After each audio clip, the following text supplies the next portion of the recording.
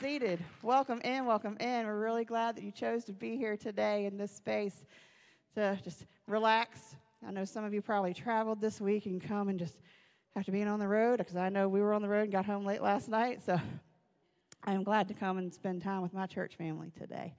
Uh, if you are brand new, I hope you can take time to go see Kim Patterson out at the Connection Center.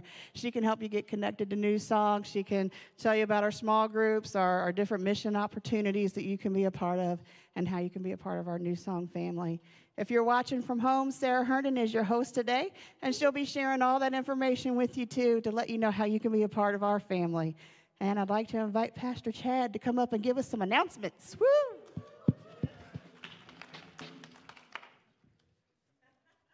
Hi. Uh, good morning.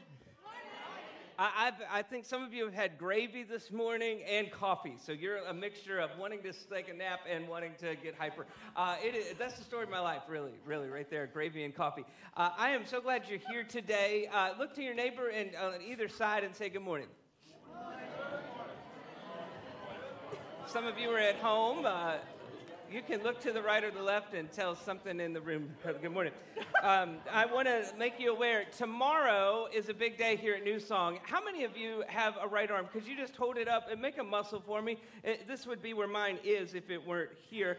Um, they, they do a lot of work with your right arm tomorrow. Uh, some of you will prefer your left. Uh, both are uh, able, but we have a blood drive tomorrow. Red Cross is going to be here tomorrow. Uh, I just wanted to, to, to tell you about it. Um, we have 30 some slots filled. If we can get up to the next level, you know what's about to happen? They throw in some extra staff, and, and really, uh, it becomes a whole different event. Um, Derek, did you want to say anything about this tomorrow? So we're 35, there's 44 empty. That's a record for us. That's right. They have some leftover King Kong Godzilla t-shirts. All right. So King Kong Godzilla T-shirts, uh, you could get, uh, you could be one of the nine slots that are still available. But here's the rest of the story. You still have time to not only register your neighbors. So go in uh, right now and, and scan in on that barcode. You can register the person sitting beside you right now or yourself. Uh, but what I really want you to do, because all of you are so healthy minded, you forget to eat and drink today. And really, if you want to have a, a good perking flowing uh, you know, like they do with the, the maple syrup. If you want to get that out of you, we got to start on you today. So just put some water in you, uh, put some red meat in you today. Some of you come in with low iron almost every time. I don't know why. Uh, start pumping iron, if nothing else. You all, are you come in cold? I don't know what it is. Warm yourself up. Wear clothing. They make these things in your closet. Put them on and, and come in not cold and drink today. Hydrate, hydrate, hydrate to the point where you just got to go all day. It's an essential. And then y'all are looking at me like I'm weird, but trust me, when you make the effort to come in, you want them to tap, perk, and take. And, and, instead, y'all come in and you get mad at us. And, and we don't have any control over your iron. True story. Uh, there's a lot we cannot control. That's but one. Uh, so that's true tomorrow. If you could come in and donate, uh, I want to also make you aware tomorrow we start a Monday lunch bunch small group at 12. So maybe you combo these two events. I'm just suggesting you could do a lot of good and get a lot of good. Uh, tomorrow we have a knock, knock, knocking on heaven's door uh, small group. It starts at noon and uh, it'll be for the next three Mondays. So if you're interested in that topic, it's all in your bulletin. Uh, let us know that you're coming. We'd love to have you. It's for the next three Mondays, lunch bunch. And that's how you segue away from blood drives. Youth group, uh, Swaders are happening this Saturday. Some of you have been down there. We uh, like to go golf, uh, not golf, what is it? Go kart. And uh, there's some other stuff laser tag, arcades, um, all kinds of junk. So if you don't mind and you want to drive, we'd love to have you help drive us down there. Um, but we'd also love to take a big, huge group of fun youth down to Swaders. It's this Saturday. You can read about it in your bulletin. Be the church day. Uh, in two weeks, this is going to be a biggie. Be the church. We will not meet here. I know. Some of you just said, Oh, I get a week off. No, that's the unchristian thing to think. What we want you to do is to make it to heaven. And in order to do that, we need you to come over. Oh, now everybody's a critic. So we want you to come over to, um, to Shady Grove United Methodist Church, right over by the hospital. And what we're going to do there is kind of a Hearts and Hands Sunday, but in the spring. And we're going to combine with Shady Grove and Mechanicsville and New Song, three Methodist churches all getting together. And we're going to go serve our community. We have hundreds of people who are lining up, like five, six, seven hundred people are getting ready. And you all are a big part of that. So we need you to register today to get the project you want. And in order to do that, you can take the QR code in your worship program right now and register your neighbor to be here together on the 21st of, of, of uh, April. Our worship band is going to kick us off. We're the pep rally that day. So we're the pep of the pep rally, amen. And we're going to have fun. So we will start with a real brief worship service, and then we're going to zoom out into all parts of our community, do a ton of good, and then here's the clincher. You're all invited back to have food back at Shady Grove when it's all done and tell the miracles and the stories that you've seen God do. So, any questions? Great. Look it up in your worship program and you can uh, log in and do the registration. Register your neighbor right now. Uh, interest meetings, we have a lot of stuff going on. King William has a meeting right after church. And then again, we have another Vacation Bible School interest meeting coming up in two weeks. So, if any of the things, if you care about others, um, now's the time to, to get plugged in. Uh, the children this summer are going to have a great VBS. We need your help. So that's in two weeks. Put it on your calendar. And uh, King William, as we reach out to the east, we're going to involve all of you in uh, short order. But today there's a strategy meeting right after uh, service. The last thing that I want to tell you about, speaking up, how many of you use toilet paper? Am I right? Uh, we call it a necessity. Remember supply chain issues and we couldn't get it? Ha ha ha ha uh, paper towels. So remember, is it over? Is it under? I'll never be forgiven for that sermon. I know. If you were here then, I still get jokes weekly about the, the toilet paper. Um, it's a long story, and I'm not going to repeat it. But we are collecting toilet paper and paper towels for Cornerstone out in King William. So every time you use a paper towel this week, every time you use toilet paper, I want you to count the number of squares and bring in that number of rolls of either one.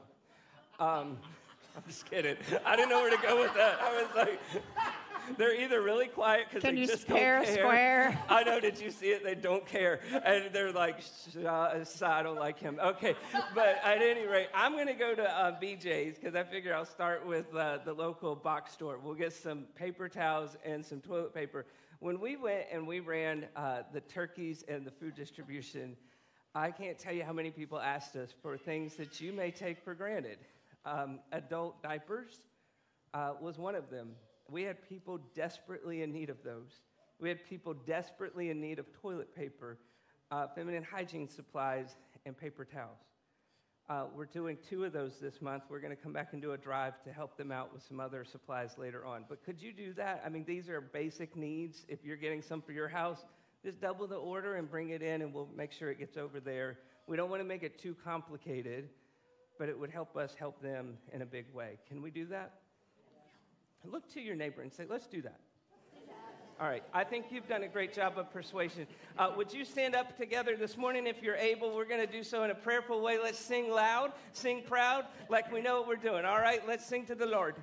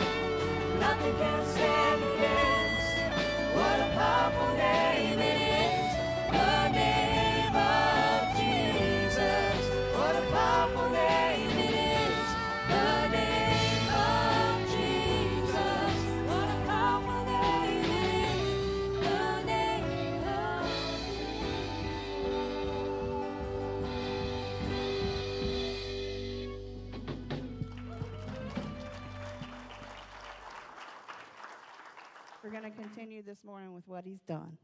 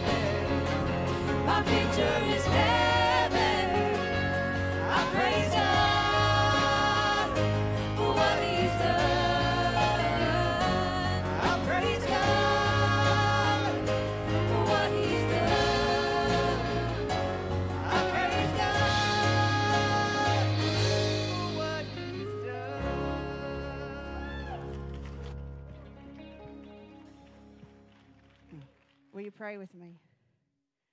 God, we just sang your praises. Thank you, thank you, thank you. Thank you for letting us come in here and watch from home or wherever we're watching from today. Just come and be still with you. We are still rejoicing a week later at your risen Son. Thank you, God. In your name we pray. Amen. Please be seated.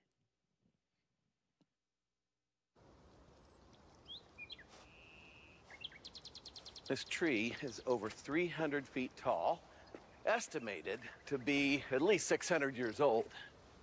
And that's nothing. There are trees towering over this forest that were just seedlings when Christ was walking on the earth. How deep do you think the roots are on a tree like this? 100 feet? 1,000 feet? The truth is, a tree this tall can't grow roots deep enough to support itself. That is why redwoods have intertwining roots. They support one another.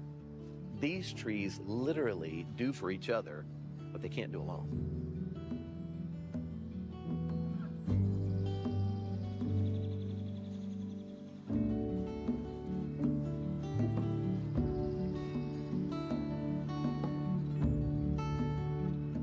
I think Jesus demonstrated that same mindset for us that we're all in this together, supporting one another.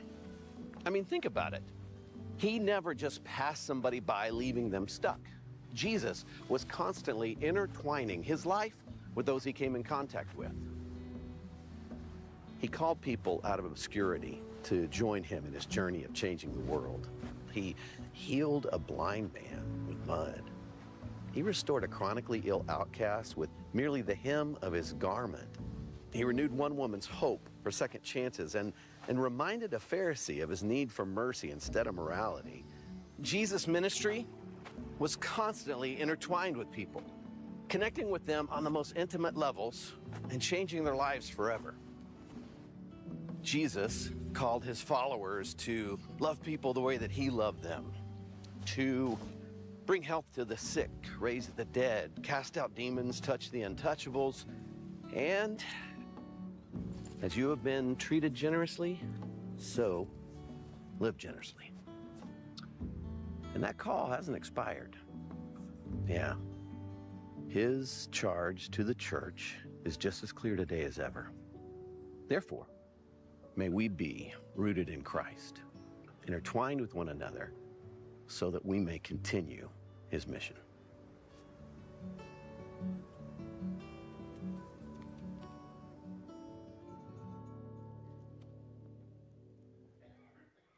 Well, good morning, church.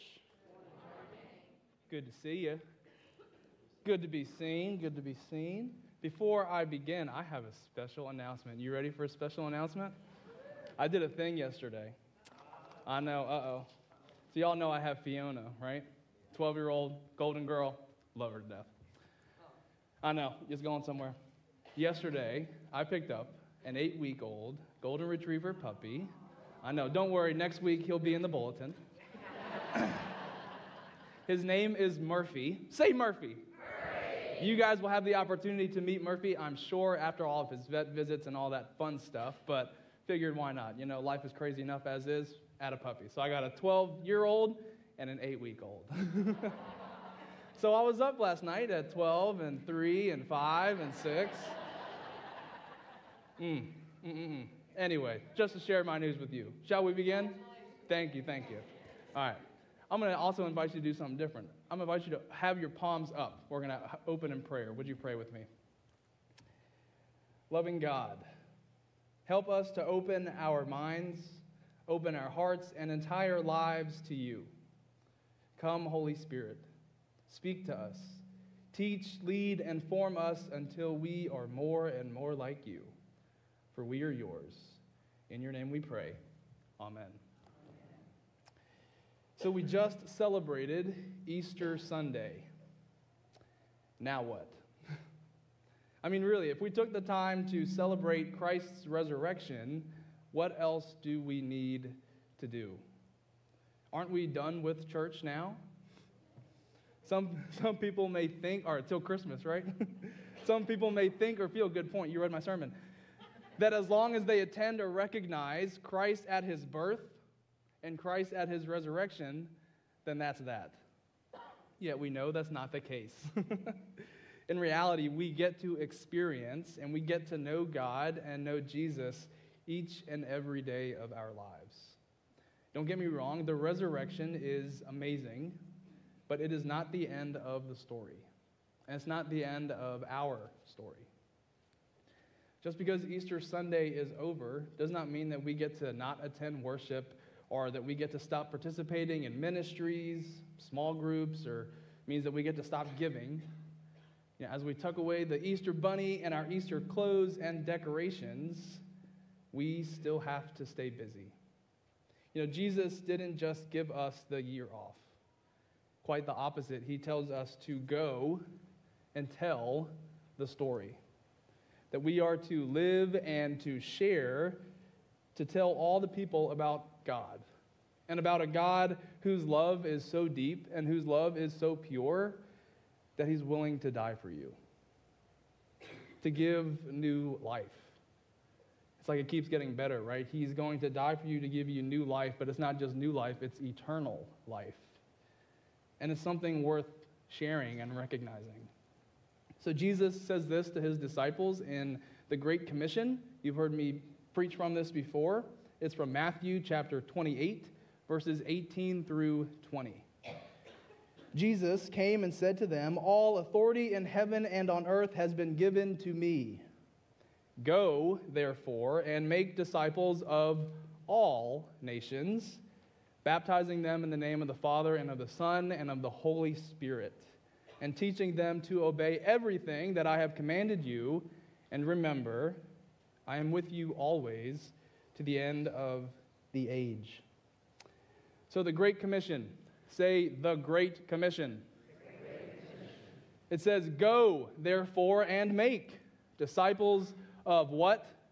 All nations. Huh. So it does not say, Go and make disciples of those who you agree with, or go and make disciples of those who act like you do, or go and make disciples of those who look like you do, or who vote like you do. You get the, you get the image, you get the point? hmm All. Again, there is a required response for those who follow God. We cannot make disciples if we aren't doing anything. Again, last Sunday was awesome. We started the day at Hollywood Cemetery for Easter sunrise service with other United Methodist churches. I got to read like 200 verses for the bishop. It was great. Just kidding. I love the opportunity. Thank you, Bishop. Then we came to New Song and we got to worship with nearly 300 people with here in the worship center and then the children in the back to worship our risen Lord. And that's an awesome thing. Yet we, we the people, we the church, can ride this amazing energy, this momentum that we get from Easter, and then just let it slowly fade away. It reminds me of when you go on a mission trip, for when I've personally speaking, when I've gone on a mission trip, and you have all this energy from the week that had just taken place. The work and the tasks completed, relationships started, friendships with those on your crew, hopefully your homeowner, and then you return home and you return to the summer schedule, and then that's just a week that just passed by. Yet the truth is that we are called to recognize the resurrected Christ more than just on Easter Sunday, or to recognize that more than just those moments or times during a mission week, but to have those moments, those pockets of energy, momentum to go and to serve every day of our lives. Those feelings of momentum, excitement, energy, and exhaustion that we get from the mission trips is the same kind of passion that we are to serve God daily. The good news is that we do not have to wait for a mission trip to experience this. We do not have to wait for an Easter Sunday service to give us that assurance and hope of resurrection. Now, to be clear, both of these are important. It is important to go and serve both in our backyard and in our community. So, again, I remind you register for Be the Church because that's a good opportunity for us to live into that vision and to go and tell the people of this story, of the story of God. And we get the opportunity to do that here in different ways in ministries that we're so intentional of doing, but then also outside of our church. It is where we hear the call to make disciples of all nations. That it is important to worship on Easter Sunday, but it is important to worship every Sunday. Can I get an amen? amen.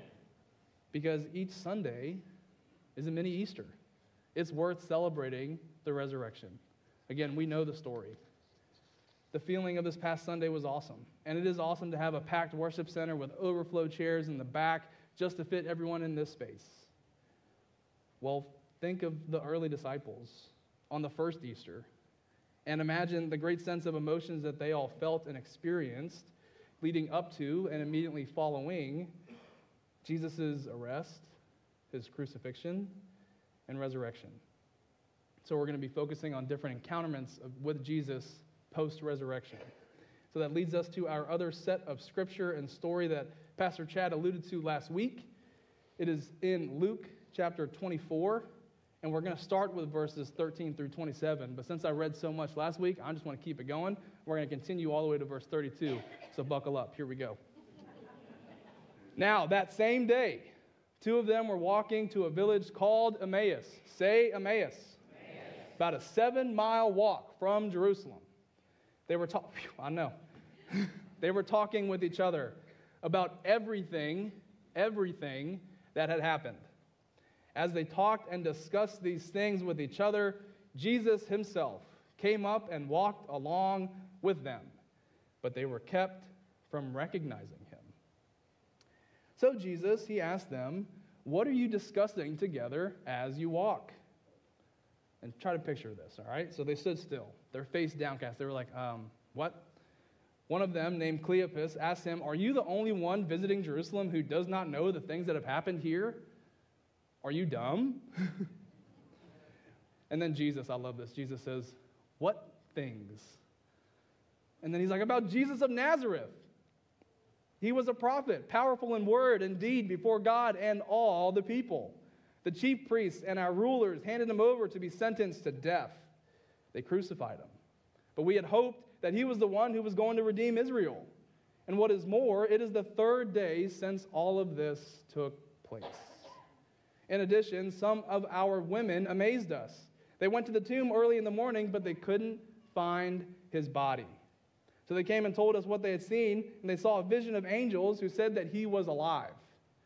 Then some of our companions went to the tomb, and they found it. It was just as the women said.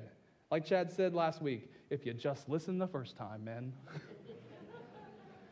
but they did not see Jesus. So Jesus, he said to them, How foolish are you, and how slow to believe all the prophets that have spoken? Did not the Messiah have to suffer these things and then enter into his glory? Whew. And beginning with Moses, Moses, and all the prophets, he himself explained to them what was said in all the scriptures concerning himself. All the scriptures. I feel like there's a reason that they mentioned it was all the scriptures. Now, this was also a seven mile walk. I don't know what their pace was, but he mentioned from Moses all the scriptures that were pertaining to him concerning himself. There's a lot that happens within these verses. the two disciples on the road experienced a lot on this journey. It says that they were discussing all that had happened. If they were discussing what had happened, that means that they were sharing stories, they were sharing experiences. They were talking about the significance of the women's reports about Jesus and the great good news of his resurrection. So then Jesus just, you know, initiates the conversation as if it's not about him. He's like, "What things?" The response then is given that summarizes the events that have transpired. And then that continues in verse 28. Well, what happens in verse 28? Let's go. As they approached the village that they were going, Jesus continued on as if, as if he were going further. I read that as if it's like he was like testing them, like, okay, I know that I know I know where they are going, but I'm just like, all right, are they going to invite me? Are they going to mention it? All right, so he goes as if he's going further, but they urge him strongly, stay with us, for it is nearly evening, and the day is almost over. So he went in to stay with them. Little tidbit here. It's the evening time, so it's, it's almost nighttime. So they invite him, they urge him, please stay with us. Remember what Jesus told his disciples about hospitality, something we're good at, but say hospitality.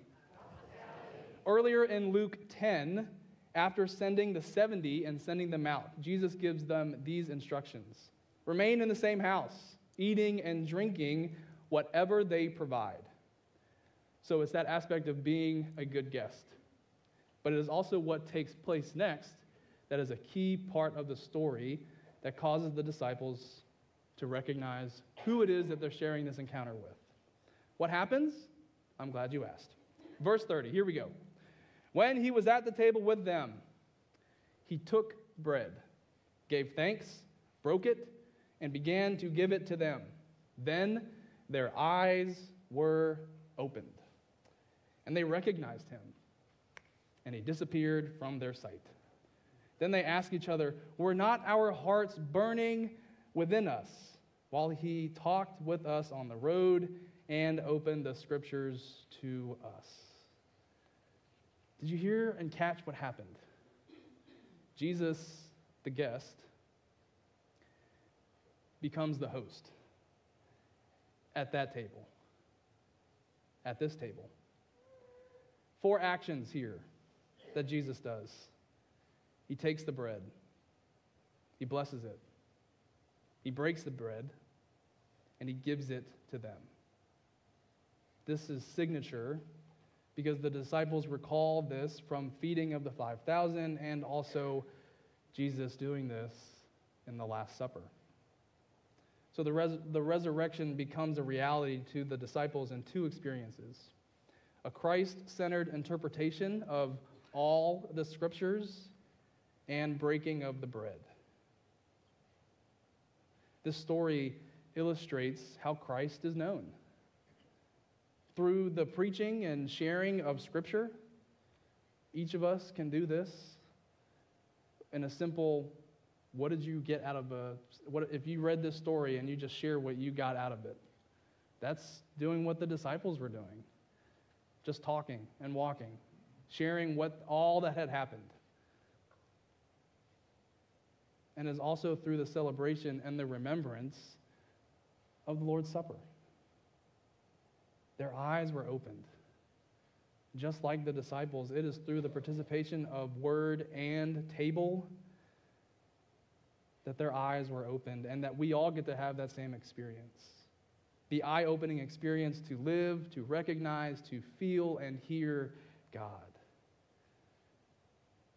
Not only were their eyes opened, but it says this in the final verse Were not our hearts burning within us while he talked with us on the road and opened the scriptures to us? It's like they knew, but they didn't know. I mean, they realized that after.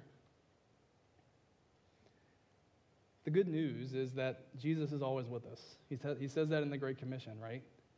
Christ tells us to go, but also with the assurance. He doesn't just say, You got it, go ahead and go, just do your thing. You do you, boo. That's what Chad says. He told them to go, but he also gave them this hope that I am with you always to the end of the age. Our hope is to see God at work but also to share how God has impacted our life and how He's impacted our faith. And for me, again, I spoke personally to going on mission trips and how you can have that energy, that ride that momentum, and then just let it slowly trickle away. Same with the amazing ride of momentum and energy from Easter. But the impact of sharing our faith, sharing God in little ways, can impact our faith in our own lives. And so I have a letter from a mission trip that I did in 2014. I forget where we went. Um, but this letter was from the grandson of the house that we were working on. His name's Deshaun. He says, Sorry it's not much, but thank you for the amazing job that you guys are doing. Hopefully, this will place a smile on your face, just like it did me to see so many smiling faces helping out to make this house look new again. Also, thank you for the food. My shout out goes to the master of the grill. because on our sites, we had crew lunches and devotions, and every time we would break for lunch, we would invite the homeowner and their family or friends or whatever to just join us for lunch. And he finishes by saying, I just wanted to let you guys know that the house looks way better than before. And hopefully, if you're around, to stop by and chat. You guys are all wonderful people, and I wish and hope you the best with the rest of your summer. Signed, Deshaun Brown. I keep this, so we actually ended up going back to, we stayed at a high school that week, and we asked the office um, if we could use the copier, so everyone on our crew got a copy of the letter from Deshaun. And so I keep it in my Bible, and I was like, oh, this is a, a good personal story to add to it. And so that's just a little testament that just through sharing can impact lives and faith. And I read you this letter because it was a trip after that week we were all exhausted, yet we were filled with excitement and lots of energy, right? And that energy was probably from all that had happened during the week, but for me, I resonated with because of what and how Deshaun expressed it. I just wanted to let you guys know that the house looks way better than before. And hopefully, if you're around, to stop and chat. You are all wonderful people. I love this because here's a young man that did not have to do this. I don't know how old he was.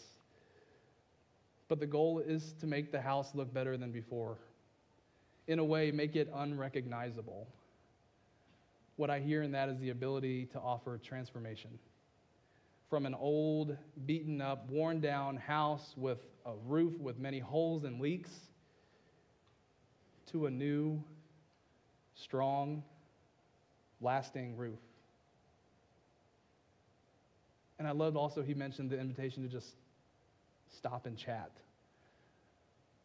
like the disciples were doing. A lot had just happened, right? We know the story, so we get to enter Good Friday recognizing Sunday's a coming, right? We say that. Imagine all the things that they felt, yet they still took the time in probably the most critical point in their faith to intertwine with each other, just like that video said. You know, the trees were doing for each other what they could not do on their own, and we do the same thing. God does the same with us. The opportunity to make a new house, a new life. God calls us to go and to make disciples of all nations, baptizing them in the name of the Father and of the Son and of the Holy Spirit. To do so with a heart burning with passion for God. May it be so. Amen. Would you pray with me? Oh, before we pray, I, I, do, I do this a lot. Um, I want to remind folks that we have our joy boxes in the back. And we give, and again, like we said, just because it's Easter Sunday, it doesn't mean we just get to stop doing the things that we do, whether it be ministry or outreach or learning and finding new ways to be innovative in ministry. That's why we have these little meetings after, after worship to do things in King William because we want to say and be the church in different aspects. Because it's not just a, a list that says, oh, you need to do this and that's, it's, it's this way or the highway. There's lots of so many avenues that God can be at work. I know and can probably attest that each of you can testify how God has been at work in your life. And it's going to be different in your life than it was in mine. And that's a good thing. It shows how God can work in each and every one of us. And so that can be through our giving, through the giving of our time, talents, gifts, service, and witness. To recognize that our giving changes lives. It gives people small things, large things. It gives people the opportunity to grab a box of food from Cornerstone Community Development Center. And I thank the people that went there yesterday to help volunteer. And if you're looking for more ways to get involved in not just King William stuff, but any of the outreach and many opportunities and ministries of this church, let us know. It's a, it, it, this is a church family, and I love it. And I love that we care about the community that we serve in, but also the God that we serve and love so much. And so I hope and pray that we're able together to do that, whether that be through giving in our joy boxes in the back or through participating, lunch bunch, small groups, different things like that. And if you, and if you got that burning desire like the disciples did or like our friend John Wesley did at, at an experience, just let us know. And we'd love to get you connected so that you can feel welcome and um, safe in your own space as well. Because we're all on a, on a journey to grow, and we get to have that journey together. Can I get an amen? amen? Let us pray. Holy and gracious God, we give you thanks. We give you thanks that you are a God who instructs us to go and make disciples but you are also the God who is with us every single step of the way. So be with us, O God, as we continue in worship this day. Be with us in the songs we pray, the prayers we pray, and in the meal that we share. This is a buffet of grace where we recognize that you are with us and we are nurtured and nourished, fed spiritually and spiritually here this day. Help us to recognize that we are being fed, but then also to go out and to feed others too, physically and spiritually. Be with us, O God, we pray. In your name, amen.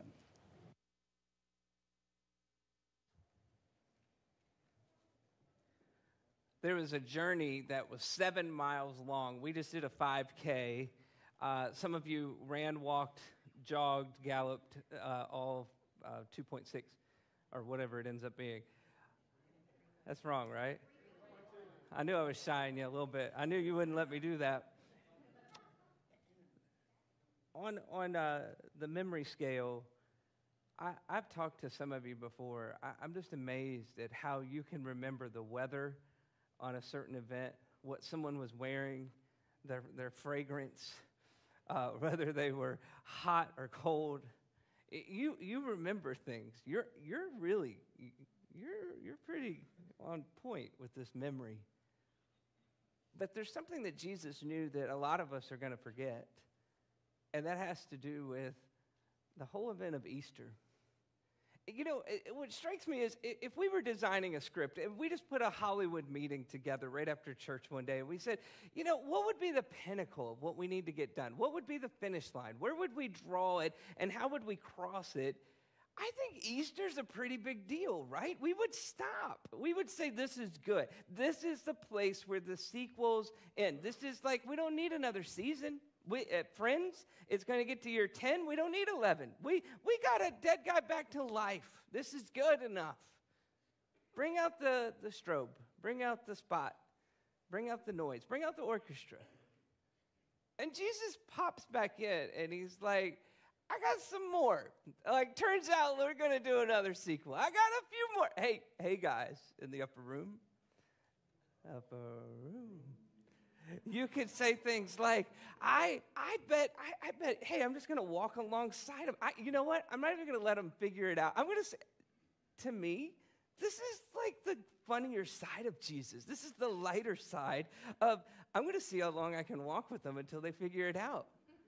I'm going to drop clues. I'm going to use words. I'm even going to say them in the same pronunciation. I'm going to give the same enunciation. I'm going to do everything the same as I always did. Let's see when they figure it out. This will be fun. Hey, Trinity, part A, part B. Part C is going to take this one down the road. And we read where, by their own narration, they put it together in this story. It took seven miles, it took a restaurant, it took bread, and it took memory. All the way back to when Jesus was feeding thousands of people. It said he had 12 baskets, and after all the leftovers, he broke the bread and gave it to them, saying, There's something about today's Last Supper, Holy Communion, Eucharist. They go by all the names. There's something about today's experience. It's post resurrection. Jesus has been tried and died, and now he's been crucified. But he comes to them at a table that is different. It's a table much more of the everyday, not the, the sacrament. It's not necessarily the, the, the set asideness of a, of a whole, high holy day. It's just, let's get together for dinner. Like if we were to go over to Riverbound today and Riverbound served rolls, which they, they should maybe, let's change the restaurant. If we were to go to Texas Roadhouse and they just bring you the roll or a Cracker Barrel, I'm putting you in the state of mind, and they just bring the bread. There's nothing odd about that. You might ask, could we get some extra butter or jelly? But with Jesus' bread, they didn't do all that. That's, that's, just, that's just entitlement, isn't it? Jelly. But it says that Jesus would have taken the bread, a very mundane routine, and it says that he would have broken it. Everything he did had symbolism and meaning, representational connection. That I am a gift that represents life.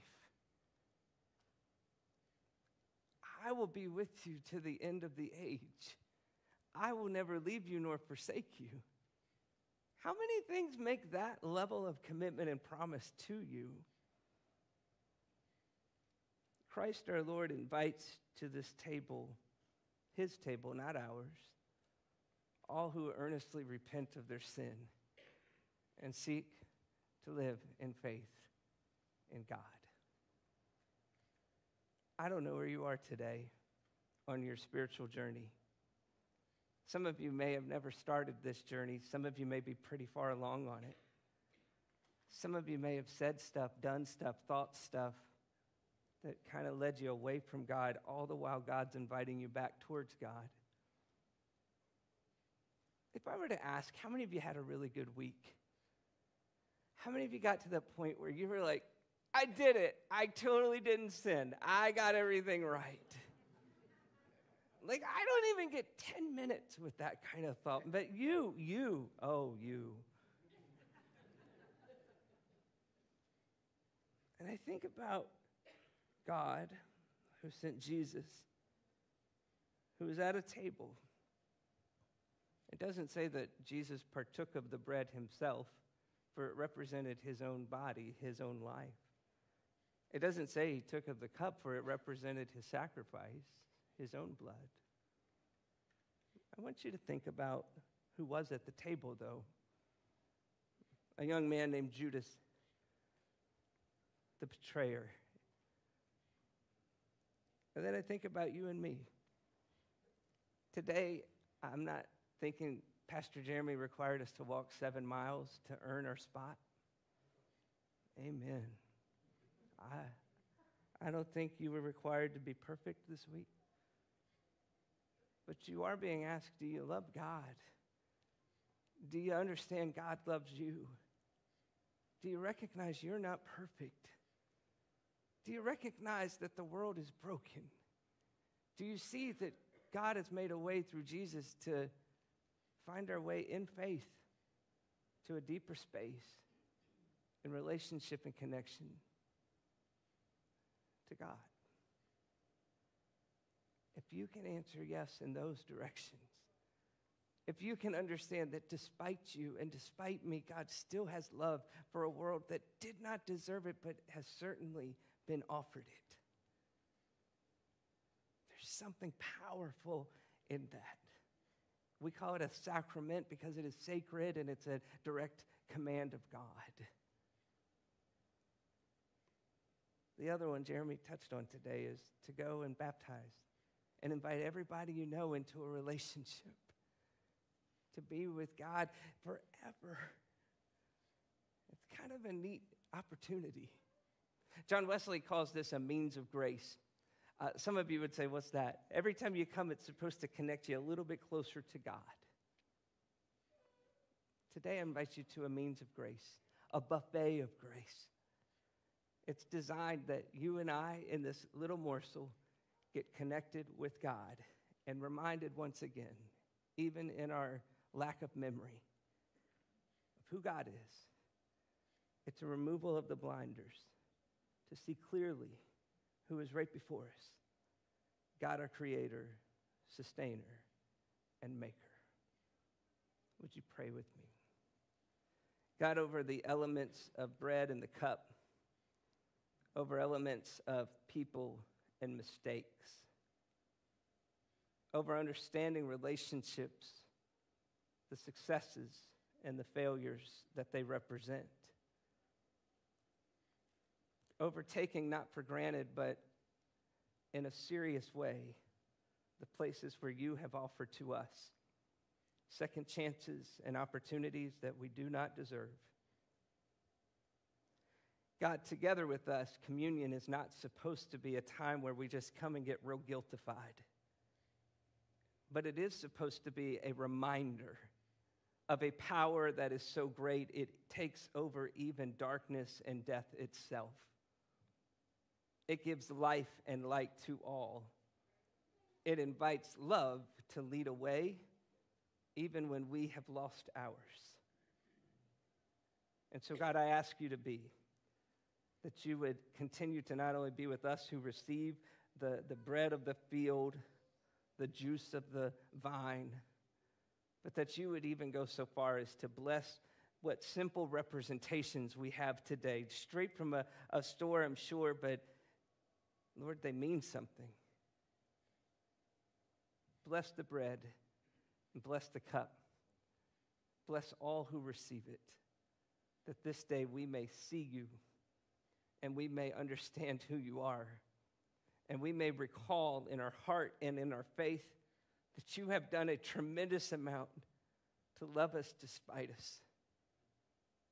And for all that we've messed up, God, may we at least get the one thing right where we acknowledge who you are and who we are not, where whom we will follow matters more than where we've been, where our yes to you will take us to that place of grace this day and all the times we recall it.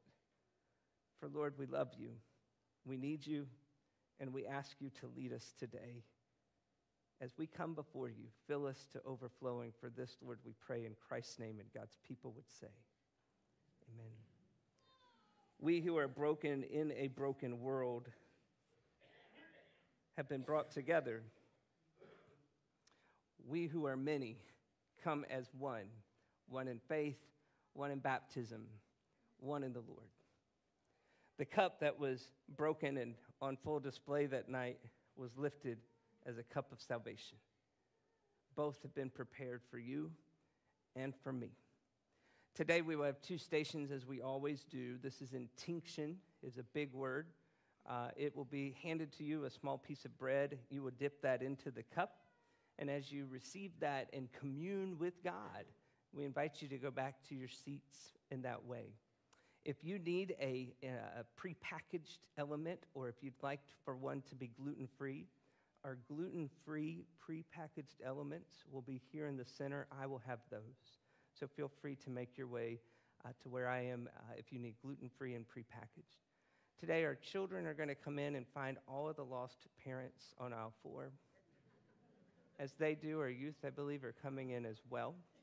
And so, uh, parents, if you could kind of help your kids find you, some of you hide a little bit from them. Our servers are going to come up and we're going to get in place. Our team is going to sing a song today. And as our team sings, we'll remember a goodbye from Jesus is not the end of the story at all, but just the beginning. Friends, as we get ready and our families get reunited, won't you come?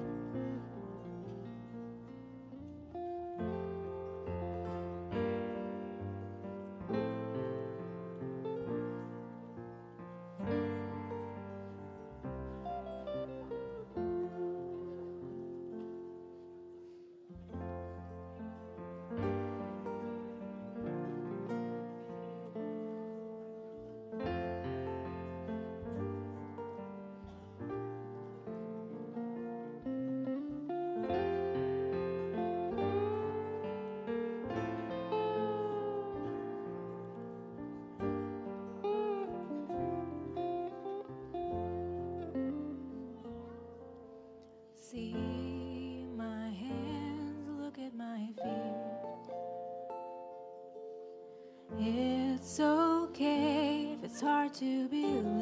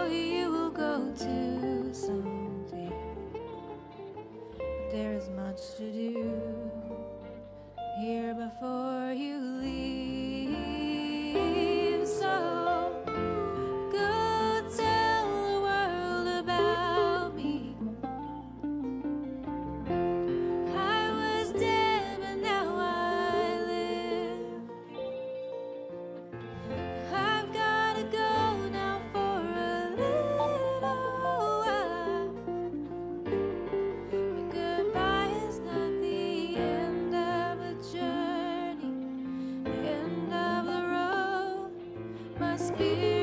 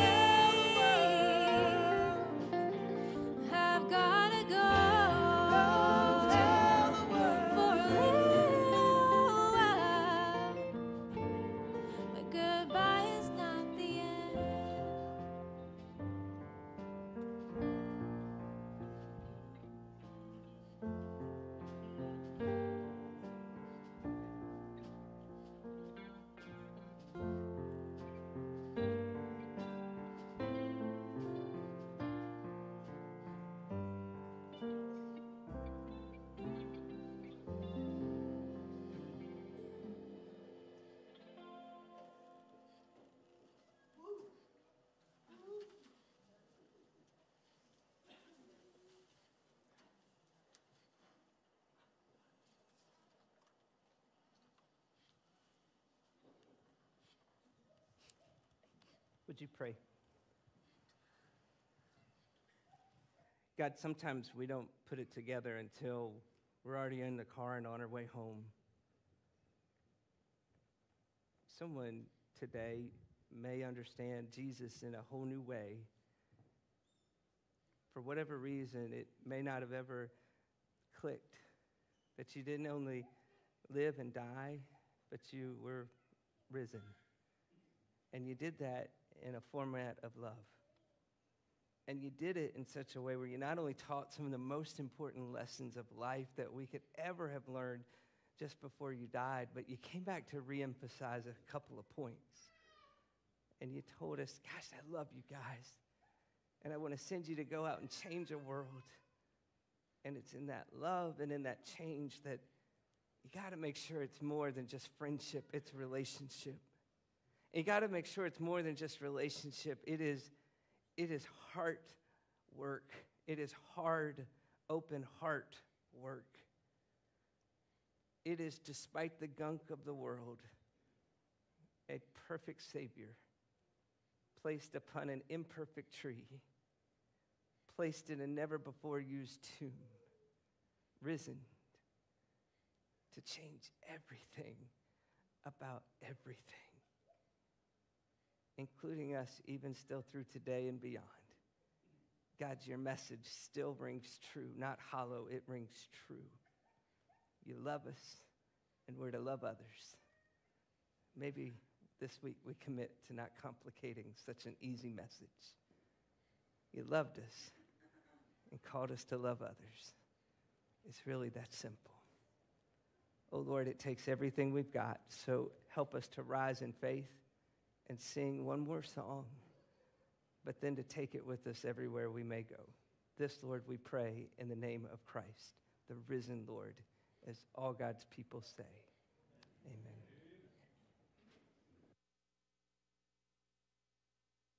Stand and join us. We introduced this at the top of service, so I know that you know a little bit of it.